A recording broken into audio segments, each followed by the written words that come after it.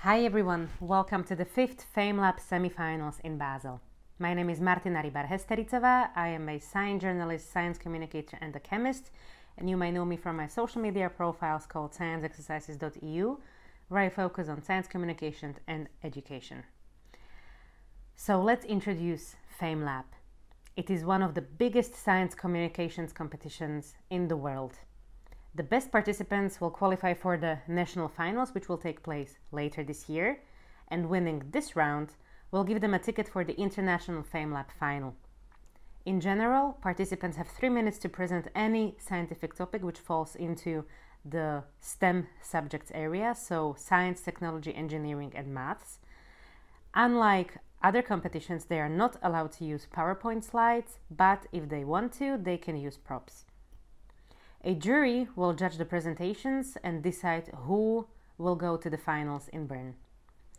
When we look at the participants this year, it looks really, really interesting. We have 11 people who signed up, five are female, and six are male. Some of them are doing this competition for the very first time, some of them are skilled science communicators already. When we look at the motivation to participate, they would like to fight misinformation, make science understandable to a general public, and engage with people with different backgrounds, which I find really, really inspiring. They also told us what they would like to be instead of becoming a scientist, if they could choose again.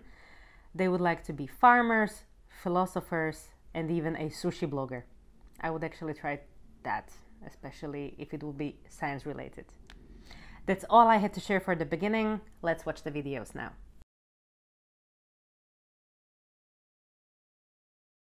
If you find yourself bored during the quarantine, you need a new hobby. I can share mine. I like to program. And let me explain why I think programming is a great hobby for you too. So first of all, you already done it. If you ever set a timer on a microwave, you've programmed. You had an input, a lasagna, you set some instructions, and then you obtain an output, a lasagna which is half frozen, half lava. Now, Programming, that's all there is. You have um, a defined set of instructions that you communicate to a machine that, to make it do what you have in mind. Now, there are different machines with different languages, but the underlying logic, it's always the same. You have conditions, you have functions that need to be executed multiple times, and then you have functions that need to be executed only once. So for example, if I press start on the microwave, that's a condition, if. And then um, the amount of time that I set on the timer will define how long the function heat up has to run for. And after that, a um, single function will be executed to let me know that the, uh, my food is ready. Now, given a microwave is not the go-to device if you want to build a website, but the rules are the same, and the logic still applies, and there are no limits to what you can build with that logic. Which, which brings me to my second um, uh, point for what programming is great. I realized is not the feeling of sitting in front of a screen for like 10 hours per day that I cherish, but it's rather the, the dazzling feeling of cracking a puzzle. Knowing how to program allows me to be completely creative and to build what I have in mind. Now, I know we have a different idea of what creativity looks like, but actually, programming is an extremely uh, free form of self expression. If I'm honest, I think programming is the closest thing we have to magic because you write down a spell, and if you get it right, then um, you can control inanimate objects, which I think is crazy cool. So what I'm trying to say here is you can really build whatever you have in mind. You can build a, a new musical instrument, you can control prosthesis, and you can even crack the code and find out how to use the defrost option. Now, lastly, um, Programs are really the uh, intrinsic or, or, invisible structure on which we base our modern life on. And we interact with programs from the moment we wake up. If you snooze uh, the, if you hit the snooze button, if you scroll through your social channels, if you uh, commute to work, knowing how to program allows you to peek behind the curtain and take a look backstage and can help you better understand the world we live in. So maybe next time you are uh, about to heat up with a microwave the uh, third person or leftovers, you can um, maybe use the set, same skills to program your next invention.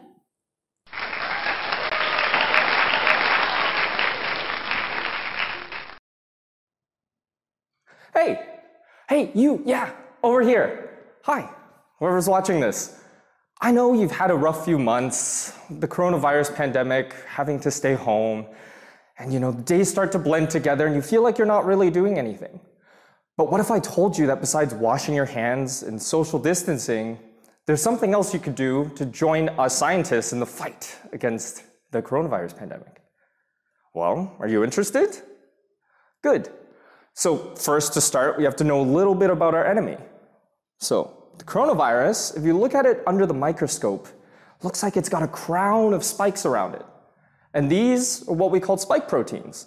These spike proteins serve a really important purpose because when they come into our bodies and try to infect our cells, it's going to be the tips of these spike proteins that allow them to infect us. So, how do we protect ourselves? Well, usually our bodies have a defense mechanism, makes antibodies, which are basically like little agents that go out and they bind to very specific parts of a virus or bacteria, and it gives a signal to our immune system to get it out. Well, while so many antibodies can bind all over a virus, there's a very specific few that bind right here at the tip. And what happens when that binds is, well, it's no longer infectious, can't enter our cells anymore. And we call these neutralizing antibodies. And these, well, they're the holy grail that we're looking for. So normally how you make these is, well, you get exposed to a virus, you could potentially get sick, and while you're out and about, you could spread it to other people. We can't have that right now. So how else can you do your part? Well, you can help us make a neutralizing antibody. Because remember how I said antibodies detect really specific parts of a virus? Well, right now, we don't know what the tip looks like of this spike protein. So, an initiative uh, that we've just started is called Folding at Home. And what we're trying to do is basically take computers from all over the world and build a supercomputer that could run millions of calculations to really predict what that tip looks like. And you can help because we can take computers from CERN, we can take computers from around the world, and you can join in with the computer that you're watching this on right now, maybe, or your phone. So, what about it? Do you want to join us?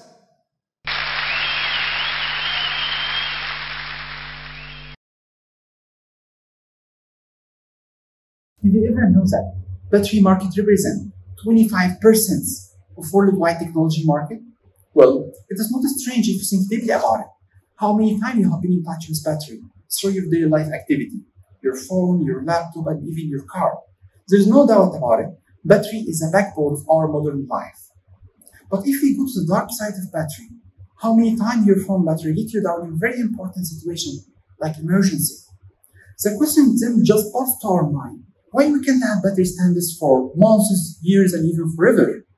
Well, to answer this question carefully, we need to understand how does the battery work, what are the limitations and the challenges for battery. So the battery is a device that can store electric energy in a form of chemical energy and convert it back vice versa by three main components, positive electrode, negative electrode, and the electrolyte. This concept is first introduced two centuries ago by Volta when he invented his first rechargeable battery. And the rechargeable means just can be used one time. From this time till now, scientists are trying to evolve the battery system till we have metal rechargeable battery. And metal here, it means we are using metal in both the electrode and negative electrode. And rechargeable means we can use it many times. Great. Among all of this rechargeable battery, lithium ion battery is the holy grail of this research because it can afford high capacity, it means longer time, with good price and adapted to many technology. Sadly, everything comes with a price lithium-ion batteries has, main three, has three main drawbacks. Firstly, safety concern, it might explode, environmental problem as have with toxic chemicals inside it, and the main problem that lithium metal price is going increasing day by day. Recent study from Tesla, they said like 30% of the car, of the whole price of Tesla car just come from battery. From this point, scientists try to evolve and improve battery research to find another alternative solution to lithium ion battery. Among all of this solution, organic rechargeable battery has a great potential as we use here organic molecules from the nature in the battery, in the positive electrode and negative electrode. And the point that I started my PhD. I was in love in polymers and battery as well. As this system has great advantage. Firstly, it's environmental safe. It has no explosion risk, and it can deliver capacity close to lithium-ion battery. Well, if we have this great advantage, why we can't implement right away in the industry? The answer is simple.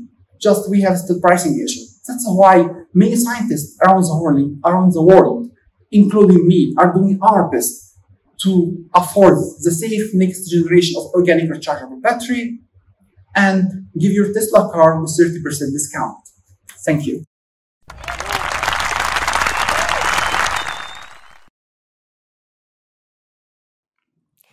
An open wound can be a weak point for a harmful bacteria to get advantage of it and make you sick.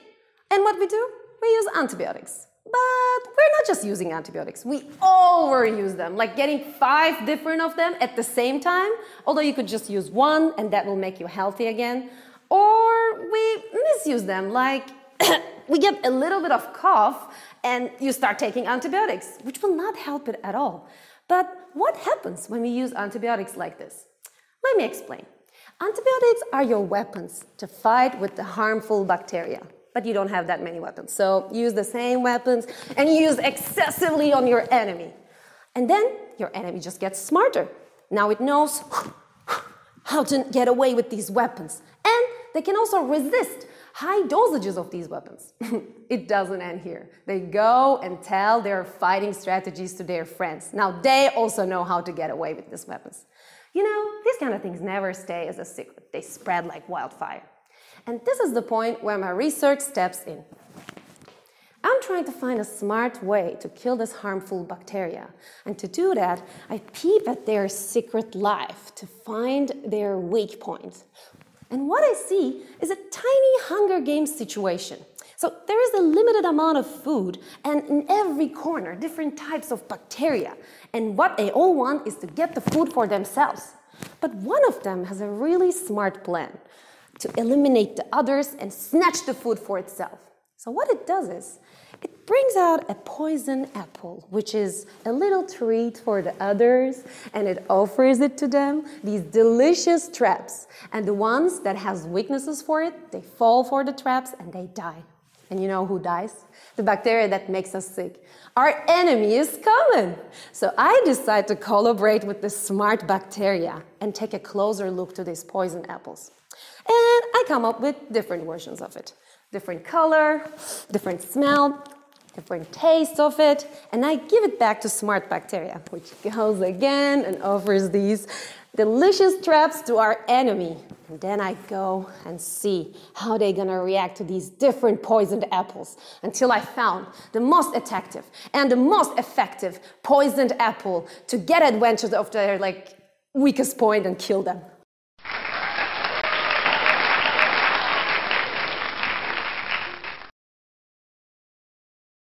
So, probably you guys have heard the term diamonds are a girl's best friend. Well, I want to let you know a little secret.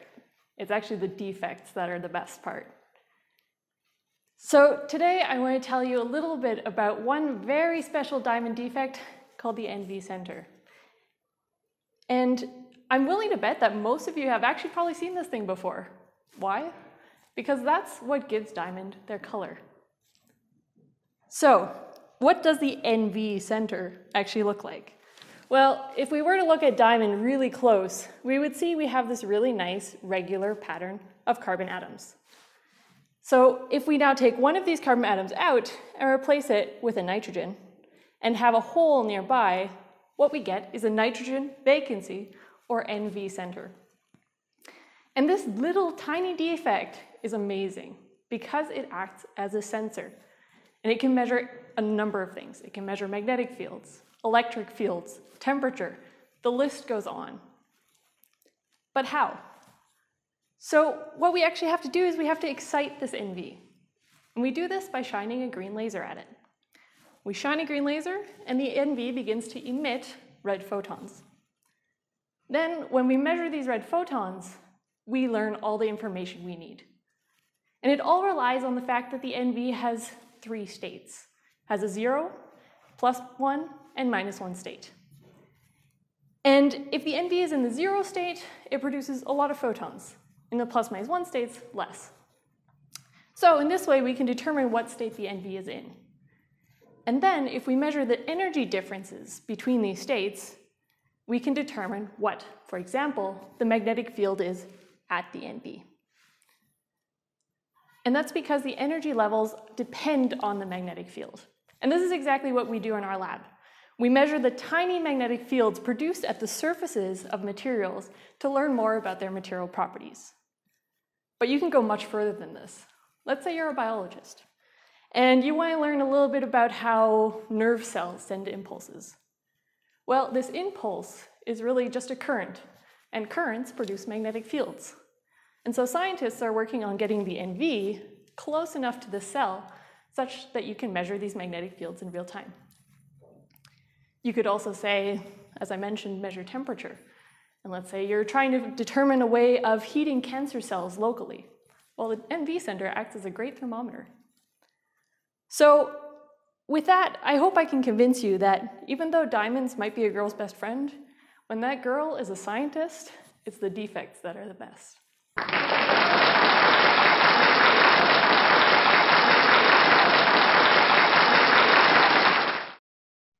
Hello, my name is Alessandro and I'm a trained rocket scientist.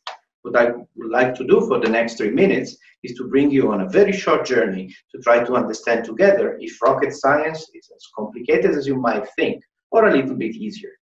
Rocket science is a very multidisciplinary topic, but it involves basically three main aspects. One is the structures, so the physical components of our rocket, like the metal or the ceramics that keep the thing basically together.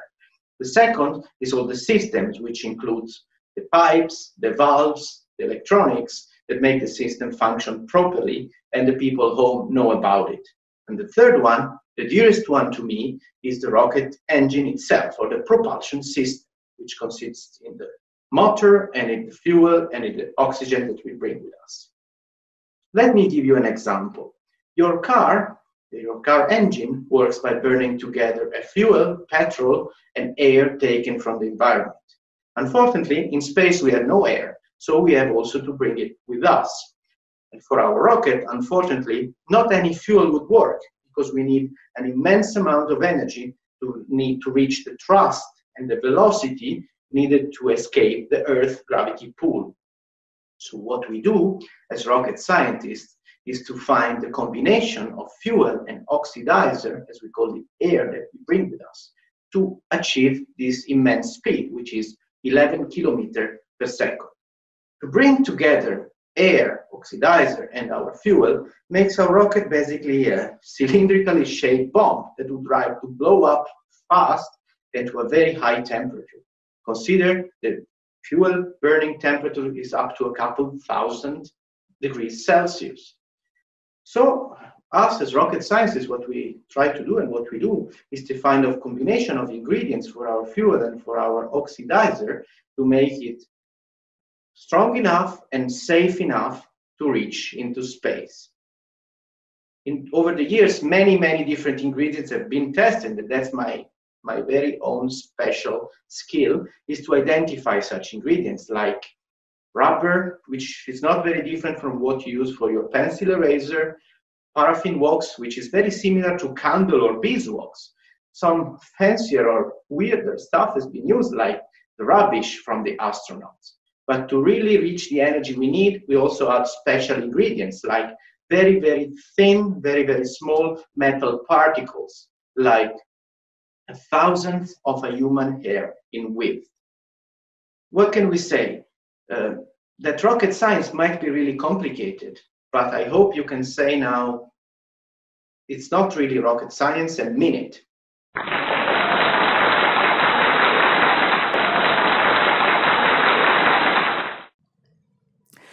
All right, so everyone, hold on to your chairs, take out your pens and papers because in the next three minutes, I'm going to show you exactly how you can build a star on Earth. So let's start with the basics. Stars have one very basic physical principle happening inside them nuclear fusion. It is this very process with which tiny hydrogen atoms fuse together to form heavier atoms. Yeah? And when this happens, they release a tremendous amount of energy. It is this very energy that is given by the E in E equals mc square. So there you go. Step number one, get hydrogen atoms to fuse together. Now, while fusion of these atoms might sound like a very simple process, it is actually far from simple. These atoms hate each other. They hate each other so much that no matter how much you try to push them together, they will never fuse. So we use one tiny hack. We can increase the temperature to a level that these atoms come start coming close together enough for them to fuse. And that brings us to step number two and this is a difficult one. Raise the temperature by 100 million degrees Celsius. Yes, that's a difficult one. Most people fail at this one. But if you have still somehow managed to get this done, we can move on to our next step. Step number three. Once your fusion reaction has started, it is, it is going to rapidly expand outwards. You would want to control this outward expansion by an equal compression force uh, so that your fusion reaction doesn't go out of hand. Yeah. On stars, this compression is achieved by the force of gravitation. This is what keeps the stars stable. On Earth, you will have to rely on, among others, a strong magnetic force to counter the uh, expansion of fusion. So that brings us to step number three. Get very strong magnets to compress or confine your fusion reaction. Now we are almost there. Yeah, uh, all the basic ingredients are ready. All we need is a vessel to put all these together. And decades of research have shown that one of the best vessels to conduct a fusion reaction in is literally shaped like a donut. Literally, a donut enlarged to the size of this room is what an ideal fusion reactor would look like. So there you go. Step number four, build a fusion reactor to execute steps one, two, and three. And there you go, ladies and gentlemen. You have built yourself a working fusion reaction, aka a star on Earth. Thank you.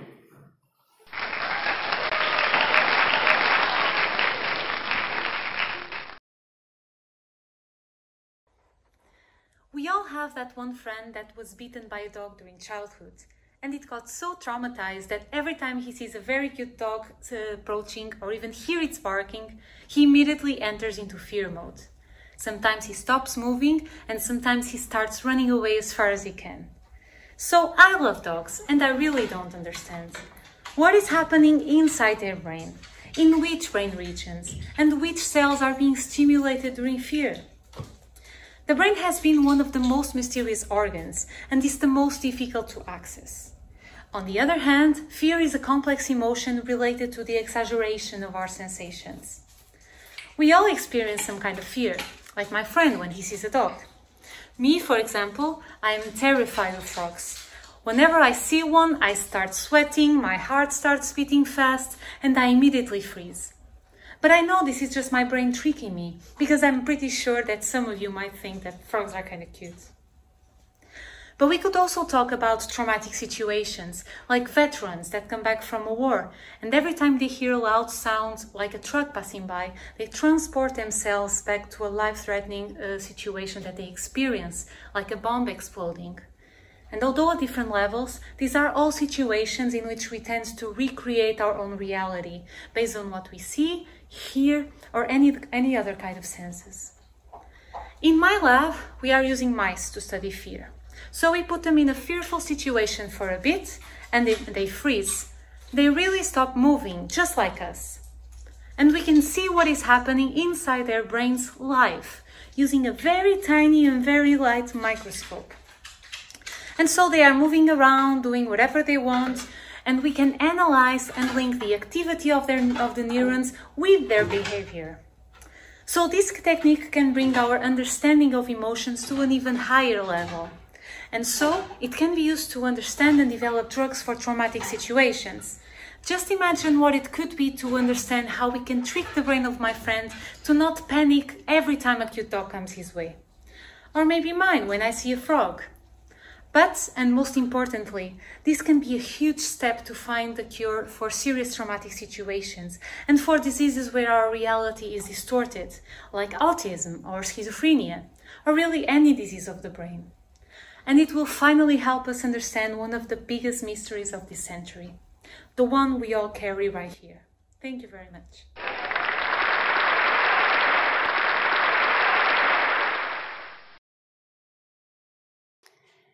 Why is nature so diverse? If evolution by natural selection is about survival of the fittest, why, after billions of years, do we still see differences within the same species? Also, why do we have sex? If I could just clone myself, I could spread my genes much faster because all of my offspring could have more offspring. With sex, basically half of my offspring will just be sperm delivery devices. So, why so much diversity and why so much sex? Well, there's a theory called the Red Queen hypothesis, which claims the answer to both of these questions is parasites. Now, you may already know the Red Queen from the Alice in Wonderland books. At one point, the Red Queen tells Alice, it takes all the running you can do to keep in the same place. But what does this have to do with parasites? Well, the Red Queen theory predicts that when hosts and parasites fight, they follow one main rule being common is bad. Okay, so imagine I'm a parasite and my hosts are M&Ms, but I can only infect yellow M&Ms. Now imagine my host population looks like this. There's yellow and blue, but yellow is more common. Well, this is great.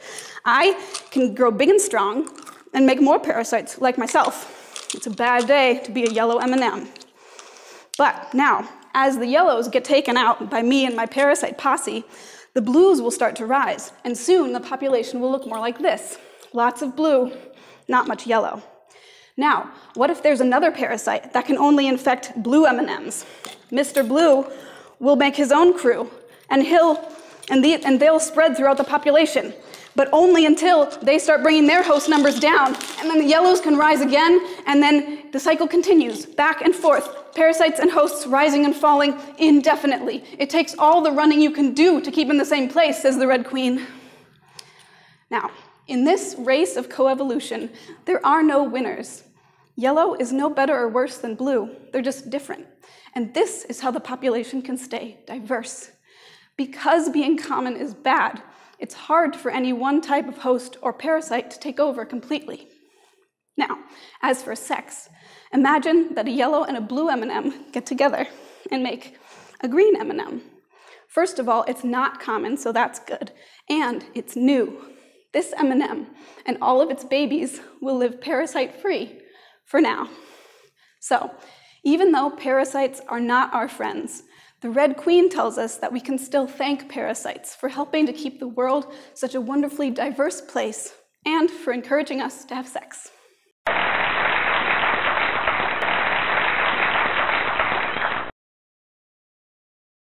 Under challenging environments, plants struggle, but they are not alone. Uh, and in my research, we look at the things that come to rescue uh, and help them grow and achieve their full potential.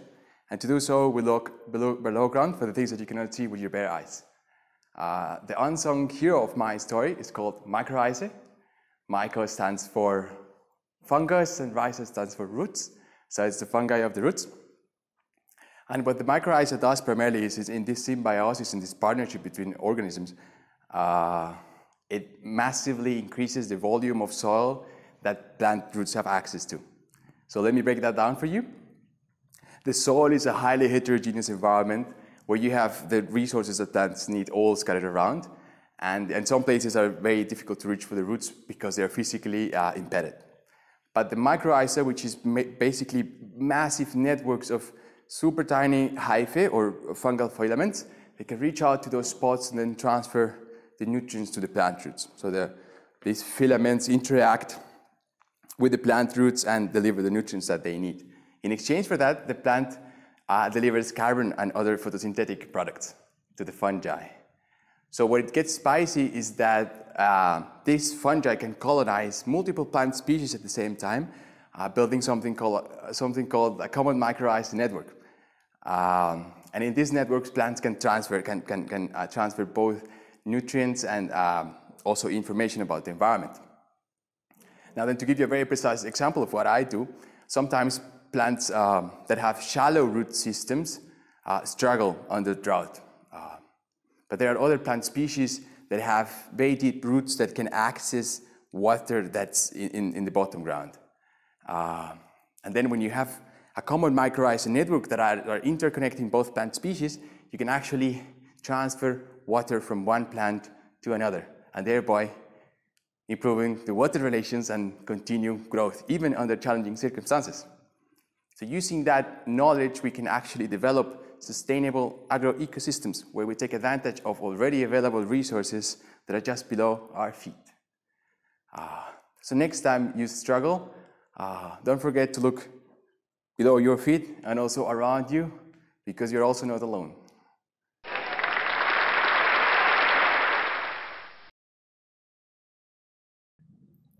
Once upon a time, when you took a walk or a horse ride out in the countryside, and you would see a grassland, you'd see many different colors, from green to yellow, pink, other types of green and blue. It was just beautiful. These different types of colors, they represent also a high number of different plant species that grow there. Together with these plant species, you also have many insects, butterflies, grasshoppers, wild bees, and that's what I consider a grassland with a high biodiversity. Well, today when I took the train to come here, I was looking out of the window and I also saw grasslands. They were mainly green with some sprinkles of yellow. Pretty boring, not many plant species. So why should we care about having colorful grasslands? Well, as you can imagine, it's not only a matter of beauty. Uh, grasslands with a high biodiversity, they deliver important services to us. For example, wild bees that live there. They pollinate our fruit plantations, and like this, we have fruits and cherries to eat. Also, they filter our drinking water, and grasslands are important storage for CO2. Climate. So, how do we get from these boring green and yellow grasslands to the beautiful, colorful ones? Well, this is my job. It's called grassland restoration. And in my project, we are testing different methods on how to improve these grasslands.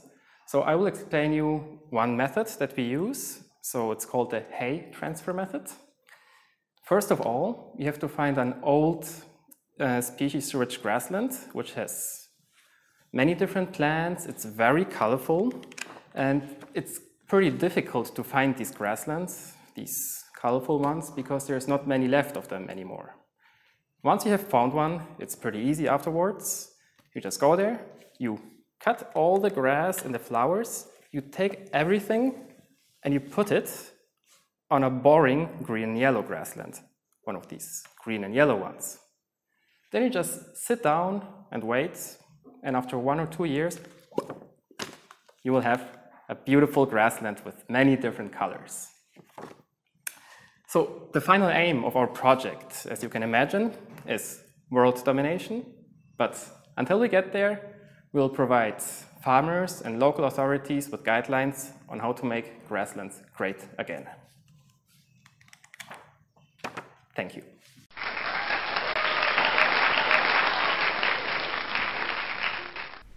And that was our last speaker.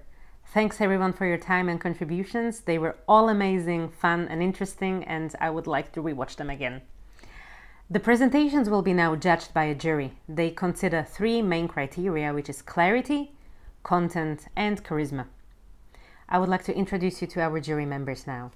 First of all, we have Torsten Schwede, who is the Vice President for Research at the University of Basel. As a professor for bioinformatics at the Biozentrum and the SIB Swiss Institute of Bioinformatics. He's working on computational methods to model protein structures from their amino acid sequences. Secondly, we have Michaela Kneissel, who is global head of musculoskeletal disease area, MSD, at the Novartis Institute for Biomedical Research. She is also chair of the FMI Board of Trustees. Third, We have Mirko Winkler, who is assistant professor at the Swiss Tropical and Public Health Institute and an instructor in the transferable skill course Video Abstract. Lastly, we have Iris Mickein, who is communications officer at the University of Basel and managing editor of the research blog at the University of Basel in English, which is called Sci5. Torsten, Mirko, and Iris discussed the performances of the Basel semifinal in a Zoom meeting, and then they decided on the four winners in agreement with the evaluation of Michaela. Now let's have a look at the jury discussion and hear what the jury thought about the participants. Who wants to start? Her stage presence was really convincing. I liked how they started up the talk. They, they really connected to the virtual audience. He educated about a current problem. I, I really had the impression that she, she very much mastered her talk. She was very focused. There was one, one talk which really puzzled me. It didn't quite work for me. For me, it was a bit too exaggerated. Yeah, speed was rather high, but I could uh, very easily follow. I didn't know why. What is the motivation? What is the interest? And what is this? Uh, what's the purpose? From the story side, uh, for me, she, she was really brilliant. She picked a topic that's highly pertinent and um, relevant to society. That, that he found the right balance of giving detail, but then shying away when it gets too technical. She triggered a process where you start to think, hmm, maybe there's something that I could do. It was extremely engaging and, and also charismatic. Because the analogy is fine, but the link back into the science wasn't clear to me. As a non expert, I had some difficulty understanding. He's building up a very nice story. He's building up the pressure or everybody's waiting for now now comes the story now comes what can i do and then comes the cold shower. Maybe the story was not always as crystal clear, uh, but she did great uh, in how she delivered. Parameters of content, clarity, and charisma came together in a almost perfect synthesis. Is something that I would love to know more about. So it was very coherent in terms of her performance and therefore a great talk. She was a bit nervous, but uh, if you forget about the nervous factor, to me this was really an, an outstanding presentation. In terms of both, you know, content, clarity, but also charisma, she was, for me personally, the strongest.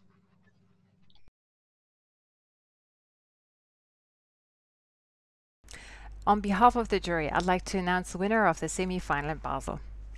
The jury very much agreed that four out of the 11 presentations were noteworthy. That said, there can be only one winner, and in the end it was a close call between two female scientists. So the winner of this year's semi-final is Selen Manioglu.